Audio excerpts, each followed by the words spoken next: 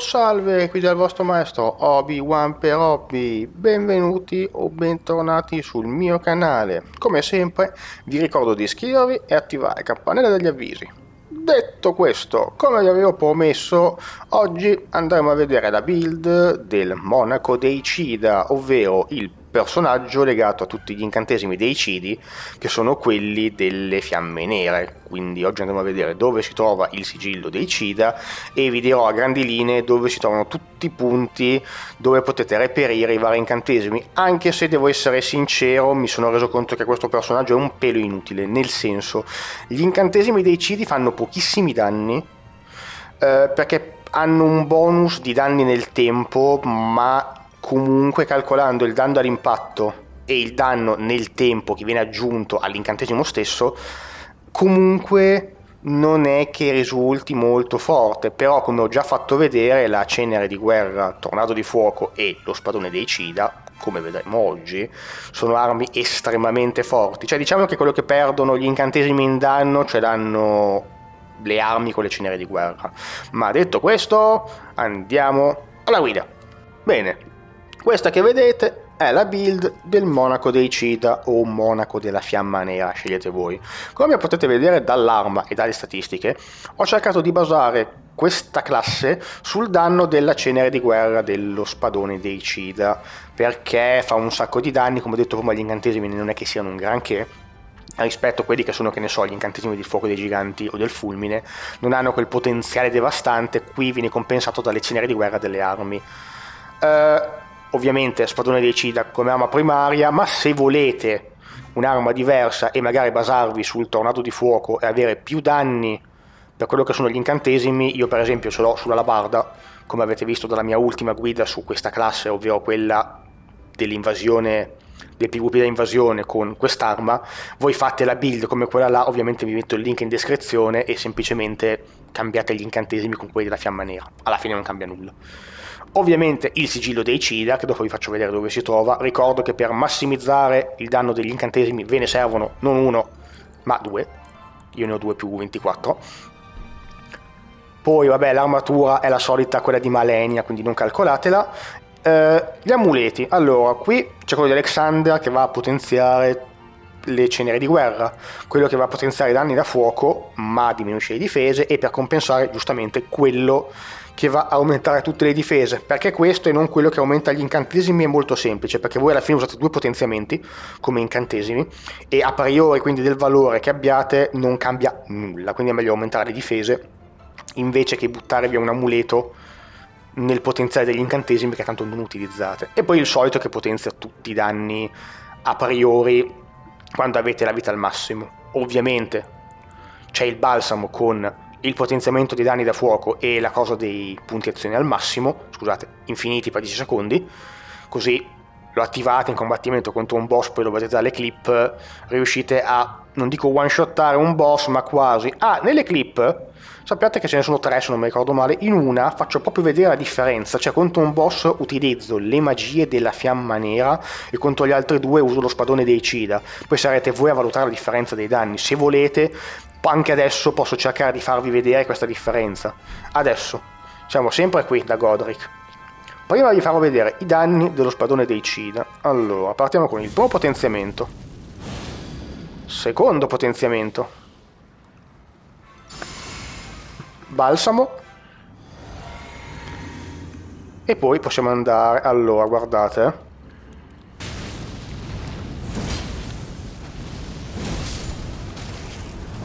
ok non l'ho shottato ma gli rimane un, un, quinto un sesto della sua vita massima quindi cioè, immaginate voi i danni contro un boss normale l'ultimo video che ho portato era quello della cenere di guerra più forte del gioco però anche questa questa spada qui fa veramente tantissimi danni.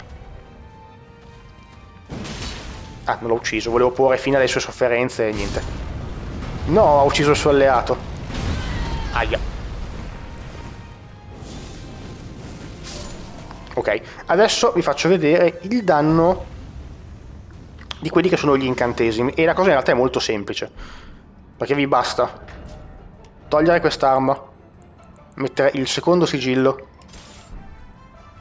togliere questo, mettere quello che aumenta tutte le abilità caricate, perché sì, tutte, e dico tutte le abilità del fuoco nero, ovvero tutti i vari incantesimi, hanno la carica. Togliete quello che aumenta la difesa e andate a mettere invece il, l'amuleto, cos'è questo? Sì, quello che aumenta di molto il danno degli incantesimi. Allora, di nuovo, primo potenziamento di fuoco, secondo potenziamento, balsamo, e poi si può cominciare. Come vedete il danno rispetto, che ne so, alla build del monaco di fuoco non è così alto. Sì, è forte, però secondo me contro i boss sono molto più forti le ceneri di guerra. In più, questo incantesimo qua, che è abbastanza lento, e l'altro, dove la... ok, questo qui, sono molto forti, ma sono troppo lenti. In più questo il vostro bersaglio deve necessariamente entrare in questo cerchio di fuoco.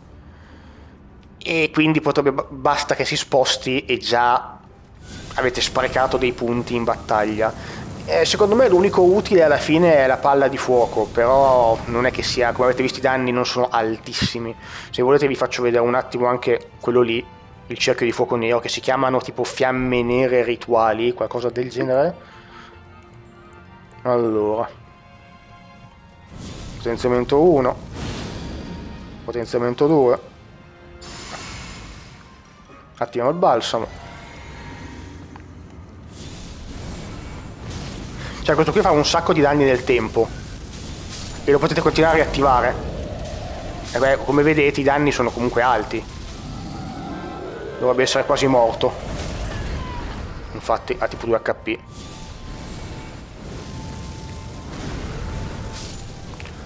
È forte, eh? è perché è comunque forte, non, non, dico di no, però secondo me non, non conviene. Cioè, contro un boss che si muove molto è completamente inutile.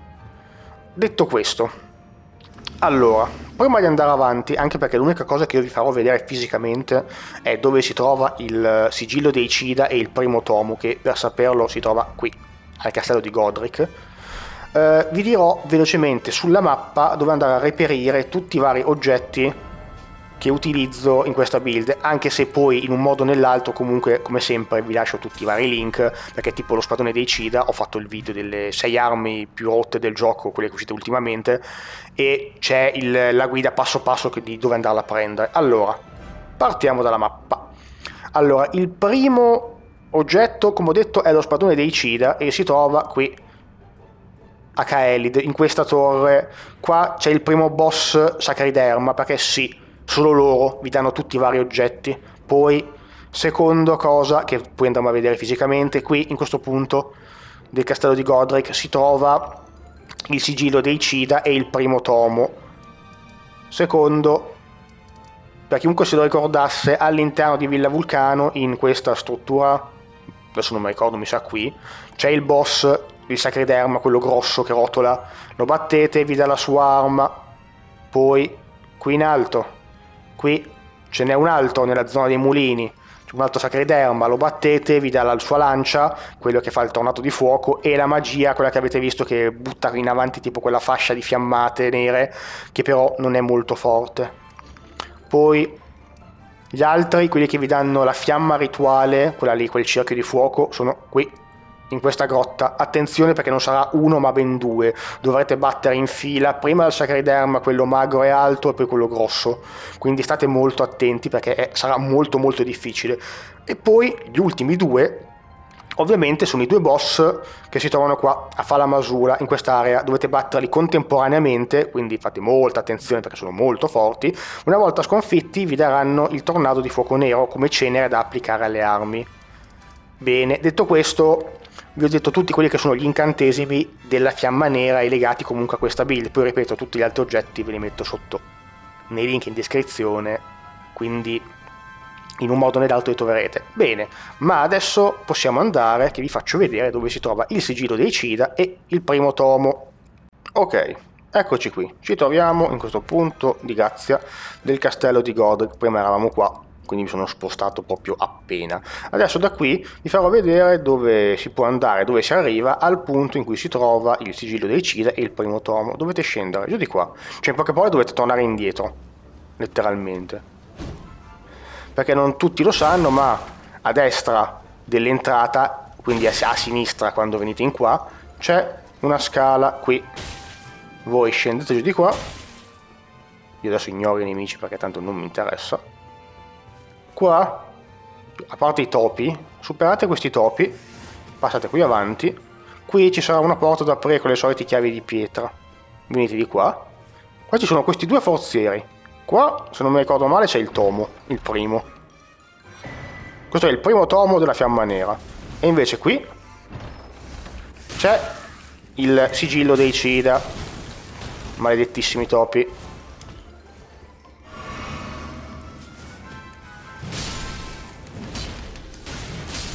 Ok.